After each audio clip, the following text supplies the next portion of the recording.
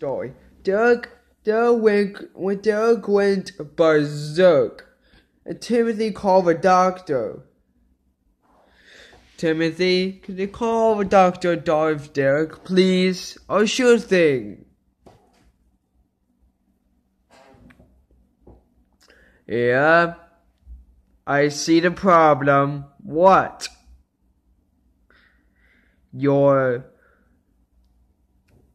your your your your husband went berserk because he had no vaccination. This vaccination should help him. Here you go.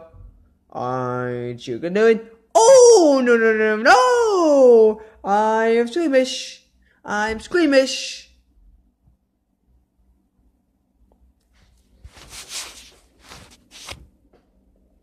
Okay, okay.